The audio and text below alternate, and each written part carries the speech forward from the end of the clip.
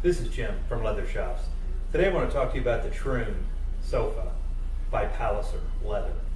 Uh, we have a chair and ottoman and the uh, sofa. The Troon also comes as a love seat.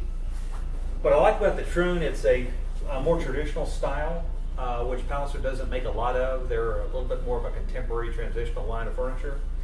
Um, this one has a camelback shape to it uh, with uh, double needle stitch detail and welted cushion seams. Uh, it's a very comfortable piece. It's about 92 inches long um, and fairly deep uh, for a piece. Uh, this one's upholstered in bison leather, which is an aniline pull-up. And what I like about this one, uh, they have actually loose cushions on it, which I like that option. Uh, and they're zippered, so you can get inside them if you need to.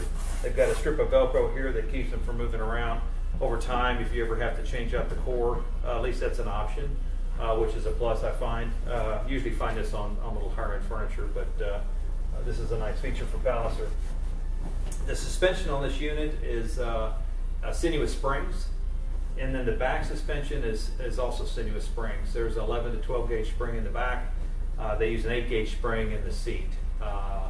S-spring suspension. So uh, for something moderately priced, this is a, a really good value uh, in the industry.